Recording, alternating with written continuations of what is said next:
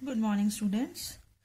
Students, in today's video we are going to discuss the topic opening the saved drawing. That means कि जो आपने already अपना document save किया है Microsoft paint में आप उसको कैसे ओपन कर सकते हो the drawing that you have saved can be open any time जो आपने ऑलरेडी ड्राइंग सेव की है उसको आप किसी भी टाइम ओपन कर सकते हो to open a save drawing drawing को ओपन करने के लिए आपको ये स्टेप्स को फॉलो करना है। First of all first open paint by clicking on the start then window accessories then paint सबसे पहले आपको क्या करना है? पेंट को ओपन करना है। उसके लिए सबसे पहले स्टार्ट पे क्लिक करो। स्टार्ट के बाद जो आपके पास लिस्ट ऑफ़ ऑप्शंस आएगी, उसमें से आपने विंडो एक्सेसरीज को क्लिक करना है। आफ्टर दैट विंडो एक्सेसरीज में आपको पेंट को क्लिक करना है। Click on the file tab and select the open option जब आपने पेंट को ओपन कर लिया है पेंट विंडो में जाकर आपने क्या करना है? फ़ाइल टैब को क्लिक करना है देन ओपन ऑप्शन को सिलेक्ट करना है। द ओपन विंडो अपीयर्स जब आपने ओपन ऑप्शन को क्लिक किया, अब उसके बाद आपके पास ओपन विंडो अपीयर हुई आपकी स्क्रीन पे।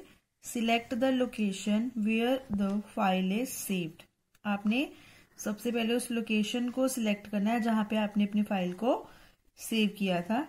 Select the file name that you have save from the list अब आपके पास जब आपने लोकेशन सिलेक्ट की है, उसके बाद आपके पास लिस्ट ऑफ़ डॉक्यूमेंट्स अपीयर हो गए हैं, जिसमें से आपने अपनी फ़ाइल का नेम सिलेक्ट करना है। Last step is click on the open button अब क्या करना है आपने? जब आपको अपनी फ़ाइल मिल चुकी है आपने ओपन बटन पे क्लिक करना है you will find the same drawing वही ड्राइंग आपको आपकी विंडो स्क्रीन पे डिस्प्ले होगी जो आपने सेव की थी, ठीक है? Look at this picture this is a figure ये आपको ओपन विंडो अपीयर है। जब आपने ओपन पे क्लिक किया तो आपके पास ये ओपन विंडो अपीयर हुई थी। ये देखो, ये सारी लोकेशंस हैं। इनमें से अपनी लोकेशन को सिलेक्ट करोगे जहाँ आपने लोकेशन जिस लोकेशन पे आपने फ़ाइल को सेव किया था। And in the right side इसमें, इस बॉक्स में आपको सभी वो सेव्ड फाइल्स नज़र आएँगी इस लोकेशन पे और इसमें से आप अपनी फ़ाइल को चूज़ करके आफ्टर दैट आपने कहा क्लिक करना है? फ़ाइल सॉरी ओपन बटन पे। और आप क्या कर सकते हो? इजी वे अगर आपको ऐसे सर्च नहीं हो रहा है, अगर आपको अपनी फ़ाइल का नेम याद है, ठीक है? तो आप यहाँ पर अपनी फ़ाइल का नेम टाइप करके भी उसको सर्च इजी सर्च करके ओपन कर सकते now next topic is editing the existing file editing means कि आप अपनी फ़ाइल में चेंजेस कैसे कर सकते हैं? एग्जिस्टिंग मीन जो ऑलरेडी फ़ाइल आपने सेव की है, अपनी प्रीवियस फ़ाइल में आप कुछ भी चेंजेस कर सकते हो। वो कैसे कर सकते हो? For for doing editing in Microsoft paint we are using a select tool ठीक है? हम सिलेक्ट टूल को यूज़ करते हैं। The select tool is use to select any part of the picture that we want to change आप क्या करते हो?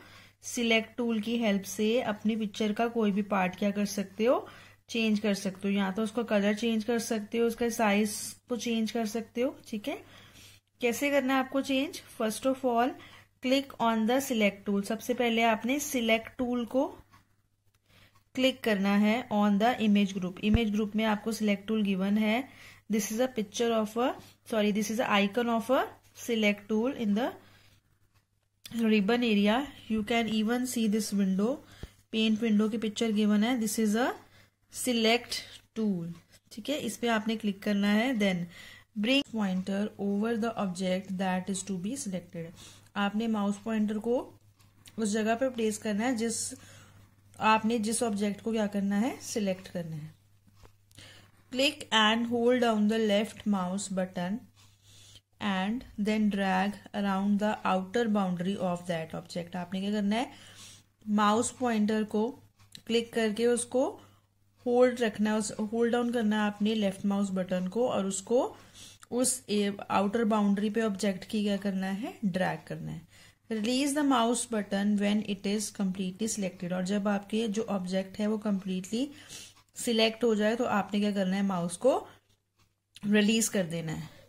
You can even see this picture again जब आपने सिलेक्ट टूल को सिलेक्ट किया है, आपके पास सिलेक्शन शेप्स भी क्या है गिवन है। आप उसको रेक्टेंगुलर सिलेक्ट करना चाहते हो या फ्री फॉर्म सिलेक्शन देना चाहते हो, ठीक है? या फिर क्या कर सकते हो, पूरी कंप्लीट सिलेक्ट करना है या फिर ट्रांसपेरेंट सिलेक्शन चाहिए। ट्रांसपेरेंट सिलेक्शन में क्या है, वो आपको डिस्प्ले नहीं होती है, कि वो आपने उसको सिलेक्ट किया। वो रेक्टेंगुलर में क्या है? वो रेक्टेंगुलर शेप में एक आपको हाईलाइटेड बॉक्स नज़र आएगा जब आपने ऑब्जेक्ट को सिलेक्ट किया है। फ्री फॉर्म में वो किसी भी शेप में भी आप उसको सिलेक्ट कर सकते हो।